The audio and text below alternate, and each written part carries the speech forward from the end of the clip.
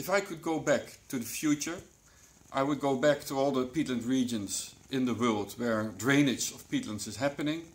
So I would go back to the 1970s in Indonesia and Malaysia, and would go back to the 1900s or even earlier in the Netherlands.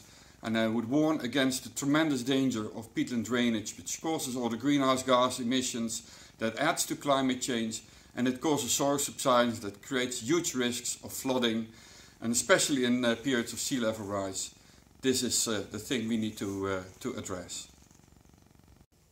If I could travel back in time with the knowledge we have now, I would advise governments to invest in wetlands as a cost efficient and very effective measure to adjust to climate change.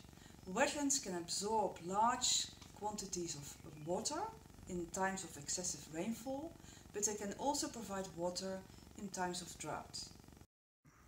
If I were to travel back in time, I would ensure that nature conservation and development go hand in hand. I would ensure that the conservation of nature becomes the basis to development. For example, I would ensure that coastal wetlands become part of coastal protection strategies. But also I would ensure that the values of wetlands, for example for providing clean water, for supporting agriculture, uh, would be maintained and thereby continue to support our economy.